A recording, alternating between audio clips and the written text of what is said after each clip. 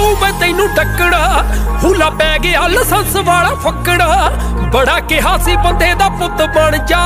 ਹੁਣ ਔਖਾ ਦੇਖੇ ਮੇਰੇ ਚੱਬੇ ਅੱਕ ਤੇ। ਹੁਣ ਦੇਖੂਗੀ ਕਰੇਗਾ